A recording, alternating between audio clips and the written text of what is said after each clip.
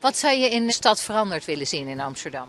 Dat de buurt schoner wordt. Strenger optreden tegen vandalisme. Lekker meer uh, bloemetjes. En dat het gewoon gezellig blijft. Heb je altijd al willen meedenken over allerlei zaken in jouw stadsdeel? Dan is dit je kans. Amsterdammers kunnen zich namelijk kandidaat stellen voor de nieuwe stadsdeelcommissie. Ik heb besloten om me op te geven voor de stadsdeelcommissie omdat ik het nu heel graag wil. Ik heb een hele tijd geaarzeld, maar na het bezoeken van een aantal bijeenkomsten en gesprekken met mensen ben ik geïnspireerd geraakt om het toch nog te doen. Bij de gemeenteraadsverkiezingen op 21 maart kun je stemmen op een buurtbewoner voor de stadsdeelcommissie. Ook kun je zelf meedoen. Je kunt je tot en met 5 februari kandidaat stellen. Ik wil vooral uh, 100% aandacht voor de participatie van mensen met een handicap. Dat de toegankelijkheid goed voor hen geregeld is.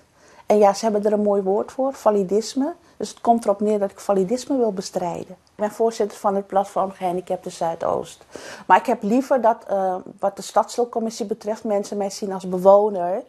Want je gaat uh, in een team van andere bewoners werken en die zijn niet allemaal gehandicapt. En ik trek me wel degelijk heel veel andere onderwerpen aan. Ik ben heel actief altijd, ook op andere bijeenkomsten praat ik over van alles mee.